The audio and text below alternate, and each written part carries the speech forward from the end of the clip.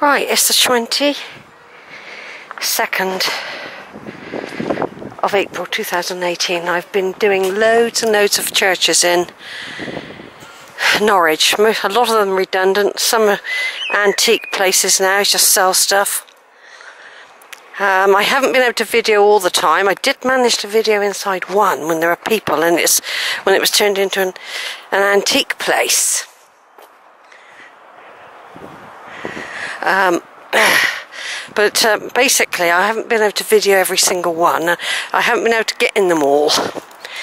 But that doesn't matter. I've actually found the one that's uh, my great, great, great, great, great grandfather was baptized in. Now, this is all mills and silk area, docks and all that round here in the past. So it's quite possible that they could have been, so with a name like Hyson, they could have been from France or Holland, somewhere like that.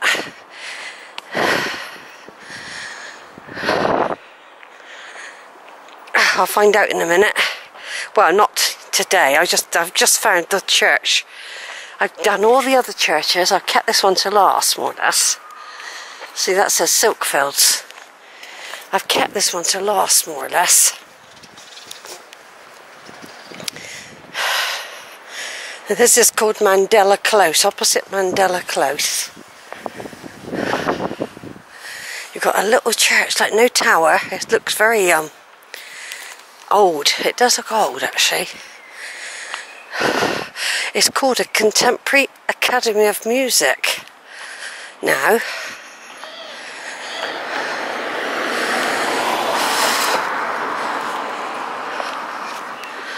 Something up there. And there's a round towered one I seen a minute ago. And I've I've taken loads and loads of photographs. Ah, now there we've got a pub, got the White Lion, I'm going to go in there in a minute. Gonna have a drink. And I'm I don't care who's in there. So this could this could be it. This could be it. It does look very old, I must admit, it does. Pebble dashed. Um, I doubt if it's open. It probably is open in the week. Um, but it's better than this is this is the place where the ancestors were baptized. Here we go, look. St. Martin's Hall. And over here, the church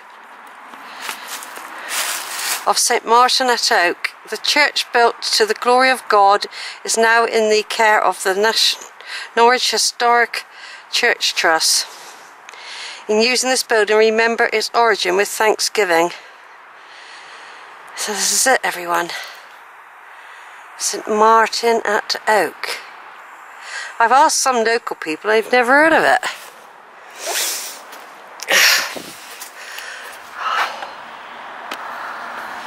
Gonna have a little look in, might be able to see something through the window. You can see something there. It looks like quite a basic church. Maybe it was Quakerish.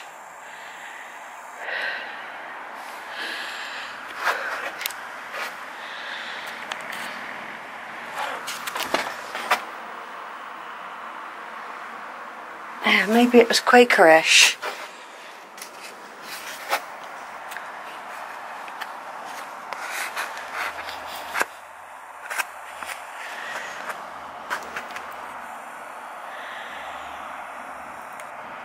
No pews or anything, no dormants on the walls.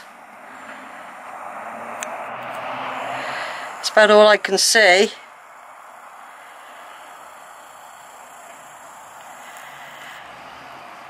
There's a spider on me at the moment. But this is where my, my ancestors probably touched this wall, see? I've touched this wall.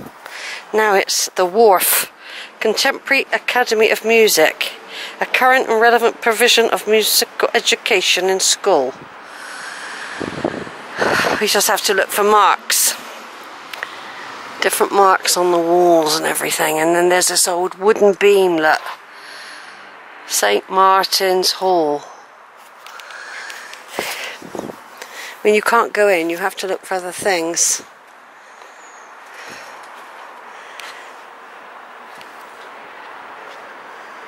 Doesn't tell us anything, we have to look it up online to find out exactly. There's something written on there. Don't know what that says. Looks like it's. Oh, I don't know. I'll take a picture of that in a minute. I'm just doing video first. Sometimes if you take a picture of something, it comes out.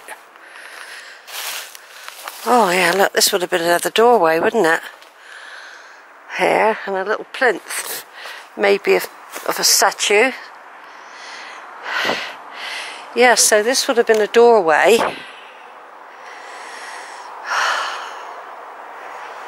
I'm just looking for anything I can that might reveal a bit more about it. There's some church, there are some gravestones, footstones up against the wall there.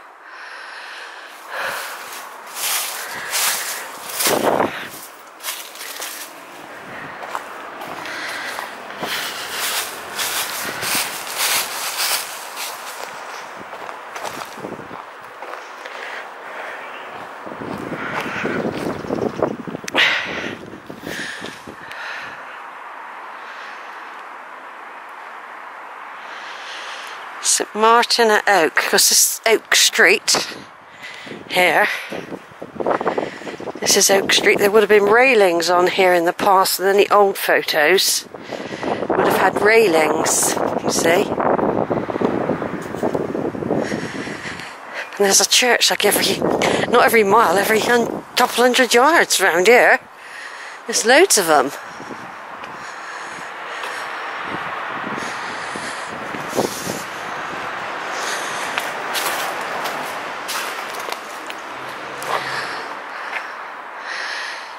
Yeah, this has got a camera on it as well at the back, look. Camera there.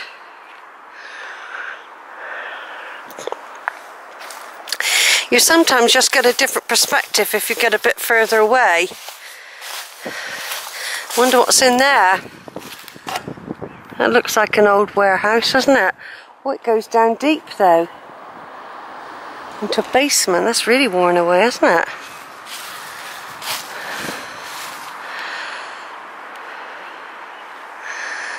Turn off them and take some photos.